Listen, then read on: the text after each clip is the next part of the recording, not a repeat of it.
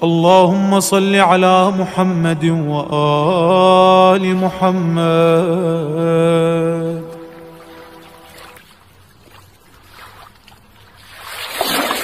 بسم الله الرحمن الرحيم الحمد لله وصلى الله على سيدنا محمد طه لمي وعلى آله الطيبين الطاهرين كسو دواذا مقال كي صدن يستقالات اتحانهيني مؤبته مقال كينا مانتا سيدي عادي هيدو حنكو تعليقين إن وداد aan ku soo qabannay isaga oo ku been abuuranayo madarisada ahlulbeytka maadaama aan nahay dadka matalaya madarisada ahlulbeytka marka laga hadlahayo heerka ummadda soomaaliyeed waxaan ku qasbannahay si gaara wixii madarisada loogu eedeeyo ama wixii su'aalaha ee madarisada ahlulbeytka ku soo wajahan inaan ka jawaabno inta aan awoodno wadaadkanu wuxuu isku dayayay inuu maaragtay eedeeyo madarisada ahlulbeytka markaasuu waxyaabo beena oo aan sal iyo raad lahayn ka sheegay.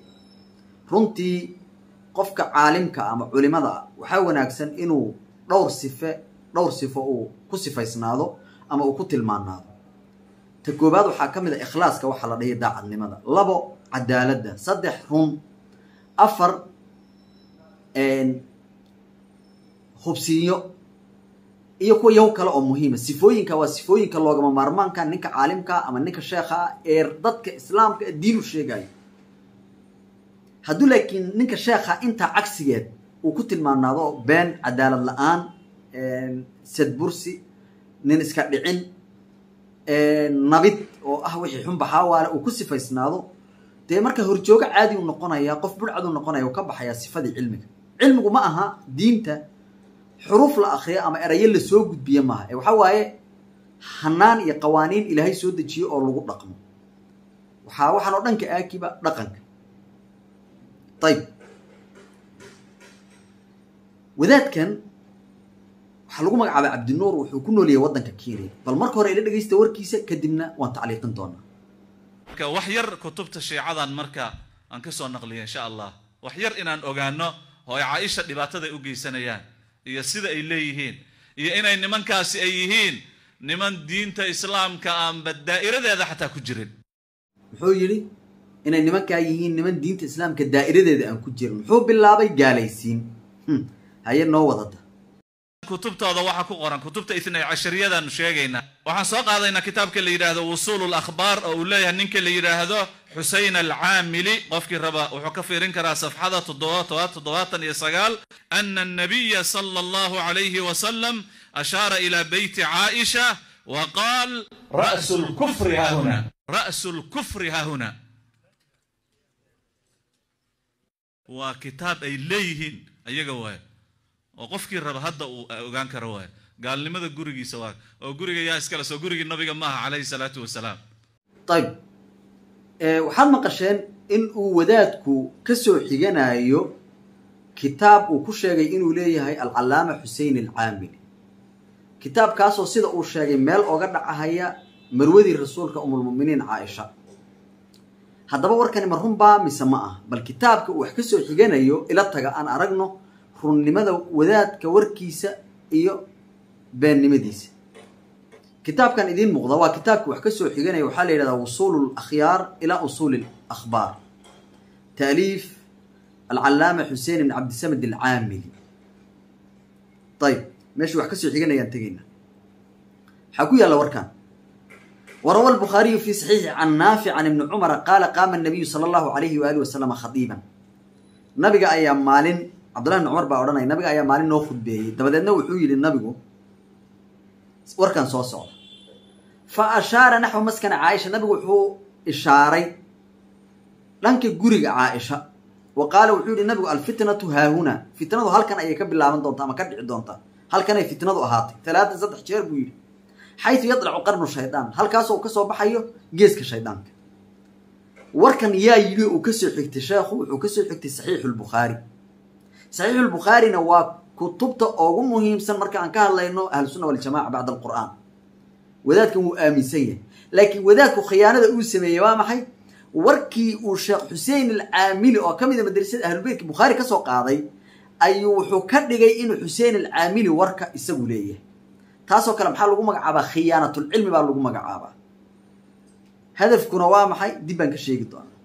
Ayib sheekh xuseen alcaamili warkan uu bukhaari u tiiriyey marhunba oo bukhaari ma ku yaallaa mise kuma yaalo bal bukhaariga ila aada kitaabkan idin muuqda waa saxiixu lbukhaari waxaa taxqiijiyey adictor mustafa diib albuqa oo suuriyaana.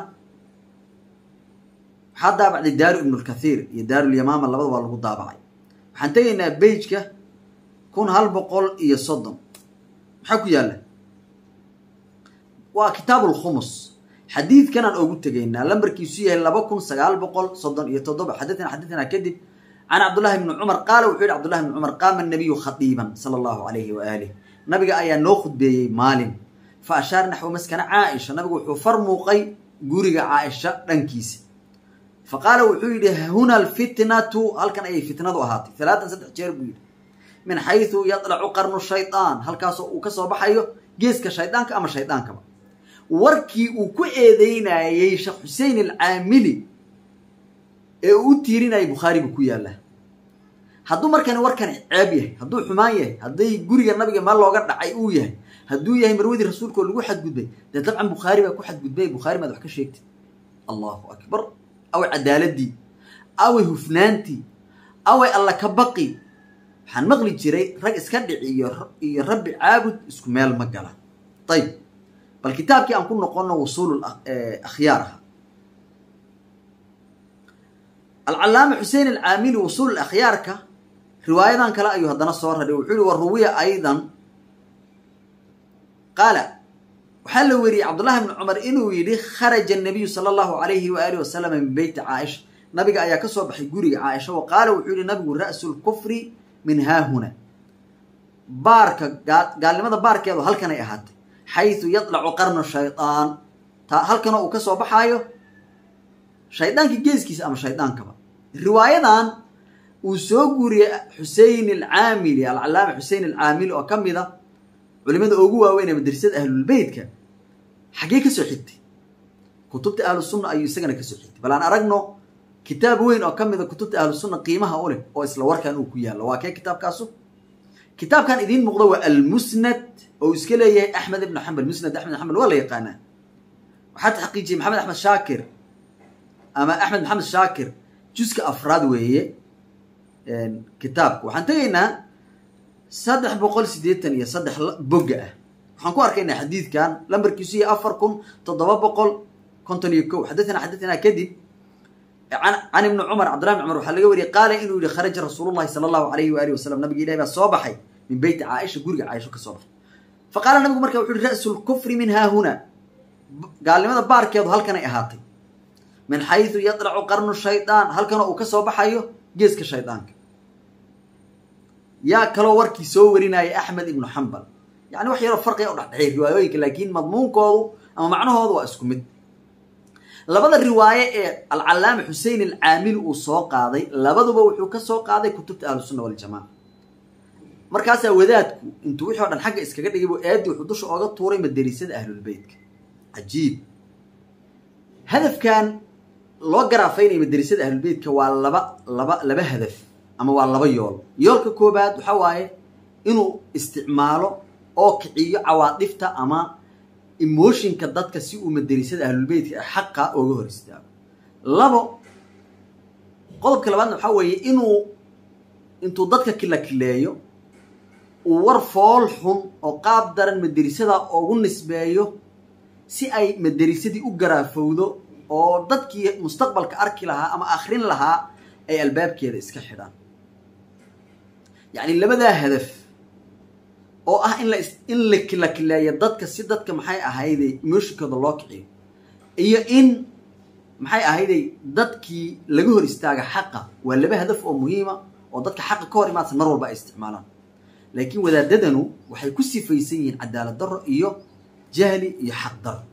Ma wanaagsano in ay sidaan u dhaqmaan. Tan iyo muuqaal dambe idinka iyo xaqa ayaan idinkala baxay fi amaan illah